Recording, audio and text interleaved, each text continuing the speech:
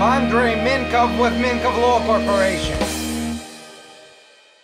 In this video, you'll learn that trademarks don't give an absolute monopoly over words and images. There are two substantial limitations to the monopoly that trademarks grant their owners. First of all, trademarks don't exist in a vacuum.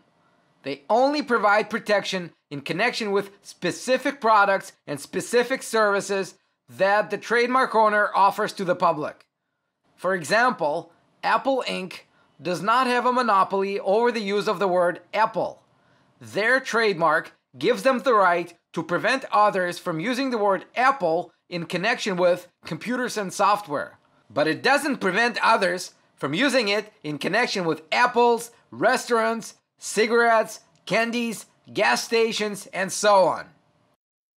This makes it very important to create a proper connection between the trademark and the products and services. If it is your trademark, you want to make sure that it covers all of your products and services. For example, if you're a steakhouse and you're using the trademark We Love Animals, you should consider extending your trademark to takeout and delivery services, of course, if you offer them. On the other hand, if you're considering whether somebody else's trademark will prevent you from offering your products and services offering a particular name or design, you should check for which products and services that other trademark is registered and used. For example, if you are planning to run a daycare using the trademark We Love Animals, just because there is a restaurant under the same name should not be a problem because the services offered by the daycare and the restaurant are very different. Secondly, the word use has a very particular meaning in trademark law. Not every use of a word that constitutes a trademark qualifies as use in the legal sense.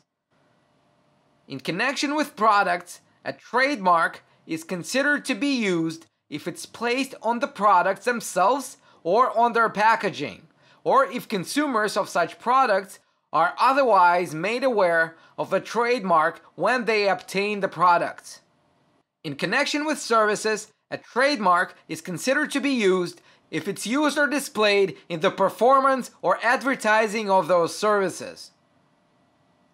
What this means is that mentioning a trademark in a blog post does not constitute the use of a trademark unless the trademark is registered for writing blog posts or similar services. Using your iPhone to make calls does not constitute the use of the iPhone trademark. Moreover, unless you're claiming to be the authorized dealer, you will not be using the iPhone trademark if you decide to sell your iPhone on Craigslist and state in the ad that you're selling an iPhone. In the next video, you'll learn about the difference between registered and unregistered trademarks. That is, trademarks that are marked with an orange circle and the TM sign. At Mincov Law Corporation, we love helping clients protect their ideas and cover their assets. So if you have any questions regarding intellectual property, feel free to call, send us an email, or go to our website at mincovlaw.com. Thank you for watching. Talk to you soon.